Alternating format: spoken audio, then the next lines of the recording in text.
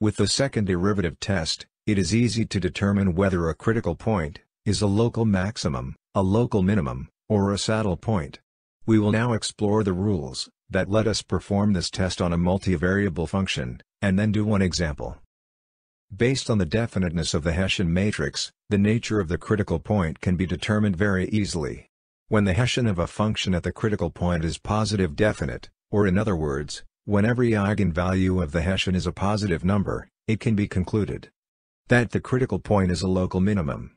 Whenever every eigenvalue of the Hessian is negative at the critical point, meaning that Hessian is the negative definite matrix, the critical point is a local maximum.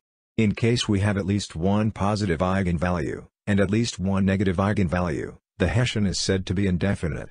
In such a case, the critical point can be concluded to be a saddle point. However, if Hessian is of other definiteness, such as positive semi-definite or negative semi-definite, the second derivative test is inconclusive. Let's now do an example, where given a function at its critical point, we determine what kind is that critical point. Consider the following function. We are given that the critical point of this function is at 1, 1. Our task is to determine whether this critical point is a local maximum, a local minimum, or a saddle point. To accomplish this, first we need to find the Hessian of this function, at that critical point. Once we've done it, we need to find the definiteness of this Hessian.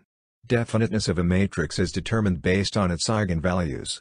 The trace of this Hessian is 14, and the determinant is 24. Eigenvalues need to be such numbers, that add up to 14, and multiplied to 24. 2, and 12, are such numbers. Since the eigenvalues of this Hessian are all positive, it is a positive definite matrix. Which means, that the critical point is a local minimum. If the Hessian was a negative definite matrix, critical point would have been a local maximum. In case it was indefinite matrix, we would have had a saddle point. For any other case, the test would have been inconclusive.